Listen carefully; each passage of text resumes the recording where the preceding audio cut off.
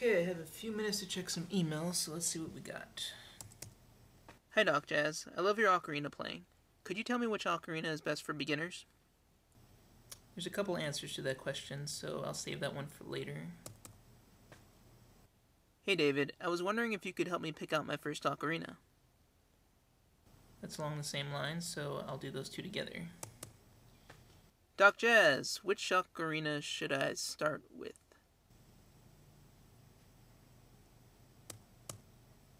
Hi David, which would you recommend for my first ocarina? Which is the best? What's easiest to Did I buy the right kind? I love Is your it good ocarina cheap playing. starter Can you to tell me which with? one Where did ocarina you find is your expensive? answer? I was wondering you if you buy could it find from me the some Can you first tell me one of your ocarina ocarina should I start with? I think I need to make a video.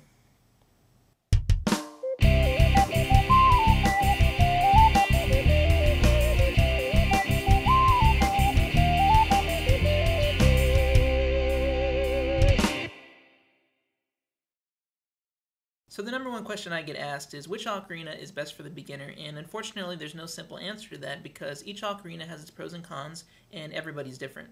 So this video is to offer some tips, suggestions, and overviews of two ocarinas I would highly recommend for the beginner. But let's get started by talking about which ones you should probably stay away from.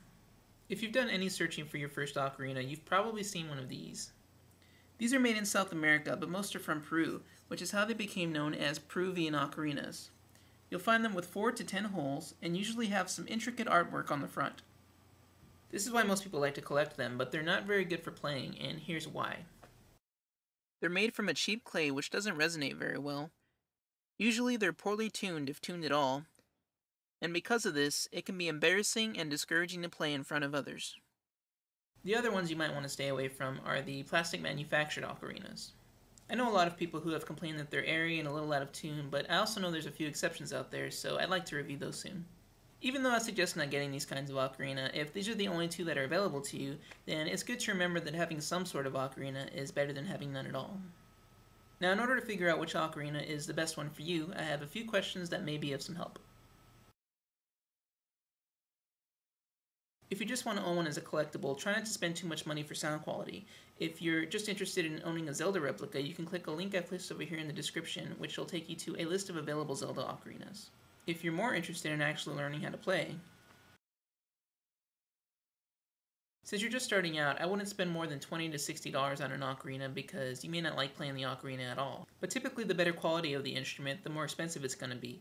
The ones with great quality are usually priced between $100 and $500. Are you looking for a specific style such as the sweet potato, the pendant, or the inline, or do you just want whichever is the easiest and most comfortable to play?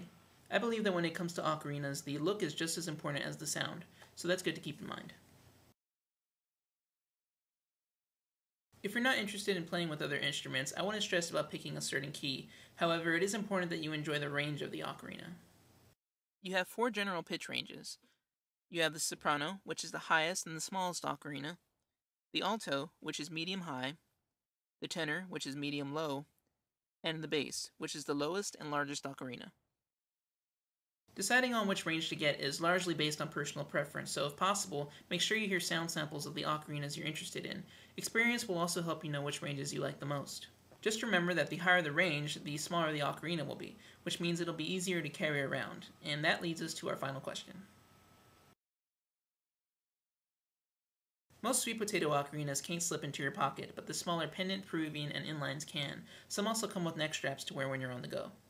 Now, I've already mentioned that there's several ocarina types out there, but the two that I would highly recommend for beginners are the sweet potato, also known as a transverse ocarina, and the English pendant. And here are the pros and cons of both. What is most unique about the English pendant is that it can play an entire octave with only four holes, up to 10 notes if it has the two additional thumb holes. And this is possible through its use of various finger combinations, each with a different pitch.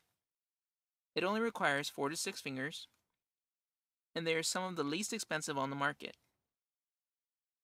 The pendant shape makes them easy to carry around, and they're usually very light, which makes them comfortable to wear. The only downside is that the finger combinations may take some time to learn, but once you have them memorized, it becomes incredibly easy to master. However, the more popular ocarina is probably the transverse.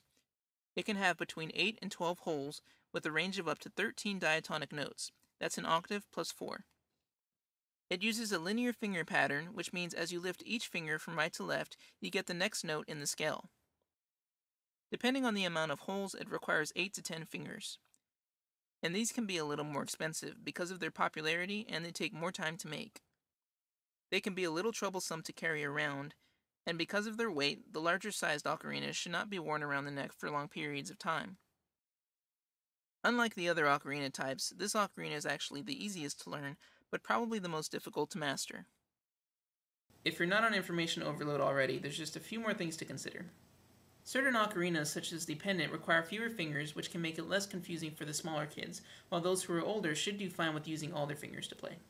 The size of an ocarina is proportional to its range, so if you have big hands like me, you may have some trouble playing the small soprano ocarina, while those who have small to medium sized hands may have some trouble playing the much larger bass ocarinas.